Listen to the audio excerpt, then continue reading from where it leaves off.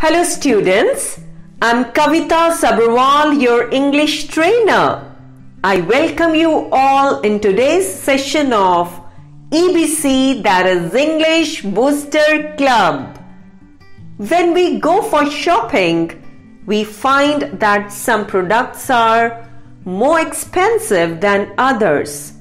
Today, we will talk about the different words and phrases which can be used to say it's costly.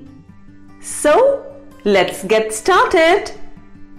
Costly, overpriced, expensive, exorbitant, spend a fortune, cost an arm and a leg, pay through the nose. Now let's use these words and phrases in sentences.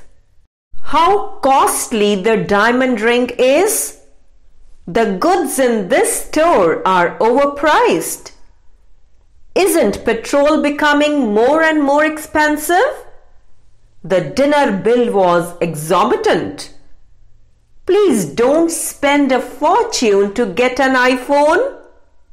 The rent of the shop is costing me an arm and a leg. Didn't we pay through the nose for that vacation? Dear students, these were the different ways to say it's costly. Let's speak English and rock the world. Thank you. Have a great day.